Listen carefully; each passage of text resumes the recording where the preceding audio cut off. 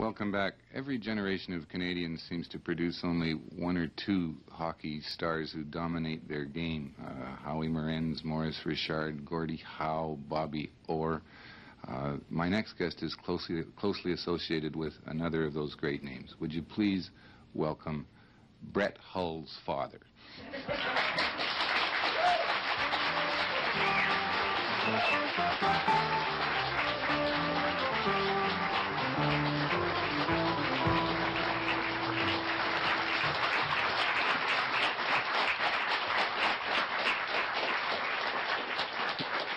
Do you want to explain why, why Brett's name is in the news a little bit more than yours right now?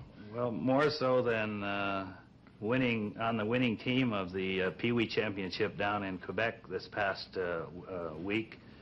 Uh, Brett's played a little more hockey than I have this year, and uh, the 12 the 12 year old Winnipeg South Monarchs, the team that he was on, they did themselves proud in Quebec. They won every game that they played, and they came back victorious over teams from all over Canada and the United States. So they did a great job. The. Quebec tournament is a, is a, is a big deal. Did, did Brett himself do well? Is he a star of that team? Well, he tells me that he is. Some, he and his mother uh, gang up on me, and uh, they feel he, that he does a pretty good job. I have to uh, keep his head uh, the right size by telling him that uh, he could do better. But I will have to say that uh, Brett has all the tools to be a, an up-and-coming hockey star. He just has to uh, lose a little bit of weight. That's all. He tends to be a little bit like his dad in that respect that he he doesn't push himself away from the table, but he also has to realize that uh, his dad worked a little harder than he did at his age. Really? I think that's true with all kids uh, now. We parents tend to spoil them a little bit. The kids today, as a matter of fact, I told them they were belly aching about not having a place to play uh, today and wanted me to take him over to the Winnipeg Arena. And I told him, why don't you do like I did when I was your age, go down to the community club and shovel it off. And they didn't uh, go for that. Really? I think I've I think I've shoveled enough snow in my life to cover half of Winnipeg really, to get a spot to play. Let's talk about Brett's father, Bobby, and, and how you are, because that is what everyone wants to know. And will you be back in hockey this year? Will you be back ever? Well, I wish you hadn't put it like that. I, I certainly feel that I'll be uh, on skates possibly within another week or so. I don't really know. I just had the cast removed from my ankle uh, three days ago, and uh, I'm I'm getting around pretty good. It's still swollen quite badly, as maybe you could see, and uh, it looks like I still have the cast on. And the only thing I can wear is the clogs that uh, Alfie and Anders got me over in, in Sweden. But uh, That's the ankle. That has a, a, a sever or a cut Achilles tendon. Yes. After I was injured in training camp and broke my wrist in a couple of places, I was just getting back into the swing of things, and I don't know, maybe I played 15 or 18 games and just started to feel good again. And uh, this freak accident, where I followed Elfie in over the blue line, and a couple of guys took him out, and I went to go around him and pick up the puck in behind. And as they knocked him down, he uh, it kind of catapulted his uh, his foot around, and it sliced just between uh, my my skate and my pad, and uh, severed the one tendon, went right down, and cut the bone. And they had to go up my leg a little bit, and to find the uh, the tendon, they had to sew it back together. But you will be back on skates. I'm quite sure. Yeah. What about your wrist, Bobby? Because there, there are, you know, the way sports writers love scuttlebutt, so I'd like to get it direct from you. The word is that your your injured wrist, broken earlier this year, is not returned to full strength, and that you will never again have, or do not now have the, the what is part one of your trademarks, that incredible wrist shot. Well, I haven't been able to try it out for the last five weeks, but in that time, I've uh, gained a great deal of mobility back in the wrist. I don't say it's 100% now, but uh, I'm sure once I get back playing and get exercising it and shooting the puck, that it's going to be as good as new. It isn't. Uh, uh, it isn't 100% as I said, but it's really close to becoming that. And I can't see that by the end of the season that it won't be real good. Might hit the stride right at playoff time, hopefully. But the guy who, who The Jets are so popular in this town, and, and people, and, and you have helped to make them that popular, and you have helped a lot of people say there would be no WHA if you hadn't jumped from the Chicago Blackhawks. Do you, do you agree with that?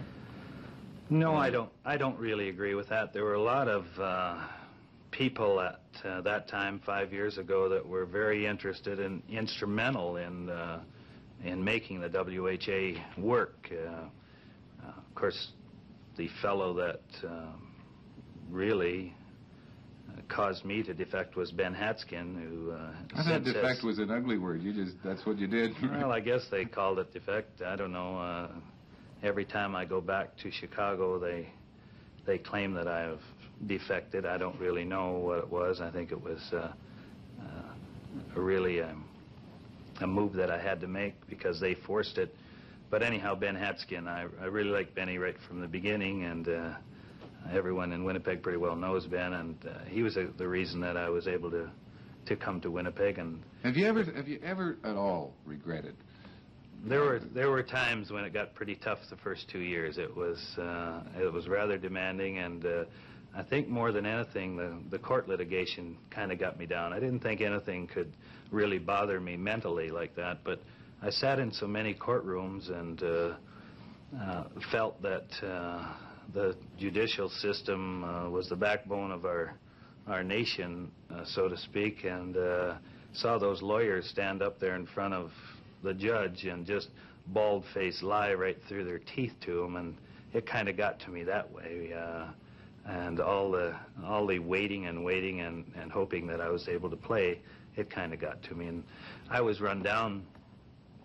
Uh, after those first two years, I kind of run down a little bit. And, physically? physically and mentally, and I guess I've regained uh, most of that back now.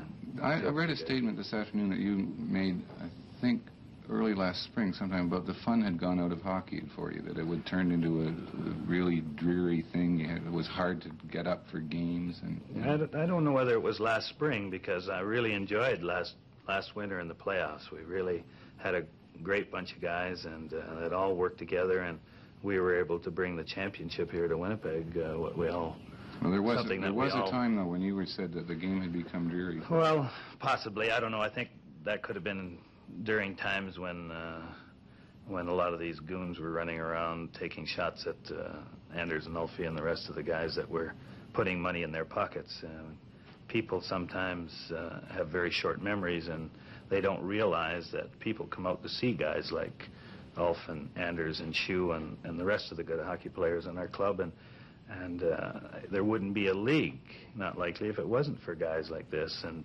then for these people to be snowed by management and coaches to the point where they are told to go out and intimidate and to put these people out of action, then that kind of got me down. And uh, I wondered why uh, myself, along with, uh, with the rest of the guys that played the game the way it should be played, would continue to to create jobs for these imbeciles that uh, were used by the coaches and managers. Well, you sat out a day or sat out a, game. Yeah, that was early. That. that. was early last uh, last fall. Do you think that had any effect?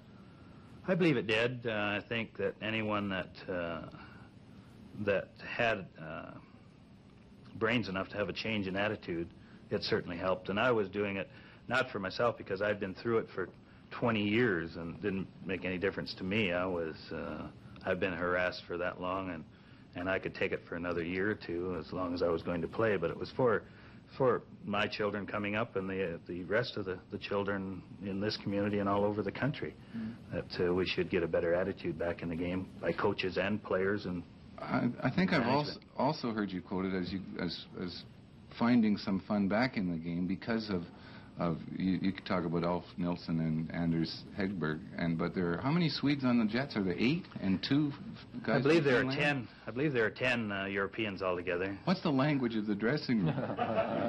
kind of Heinz, uh, Heinz 57 variety. aside from speak Swedish, can you speak any Swedish? I can speak a little bit, but I don't know whether uh, some, some of the some of the language. There might be a few Swedes in the uh, in the community, and they might. Did, did Nilsson and Hedberg, uh, your line mates, ever talk behind your back, do you think, and say, don't give it to the, the Golden Jet? I don't think those two kids know how to be uh, that way. They're just two of the greatest kids, not only great, great athletes, but just great people. And that's Have- what makes them the great stars that they are. They're so unselfish that I know Alfie and Anders would rather give me an open net to put it in than put it in themselves. And and uh, uh, Alfie is a, he's an awful card, and uh, he wonders after he gives us the open net uh, how good the pass was. Was it good enough to put in the open net? You know, and things like that. And, and he asked Anders one day, uh, Anders, how does it feel to uh, score 50 goals in open net? He says, you know, he's that he's that type of guy. He keeps everything loose, but just a, a great, great kid, both of them. And um, I was only I was really unhappy that I wasn't here to see Anders break the record. I was away. That was your record. Or I didn't care. I was.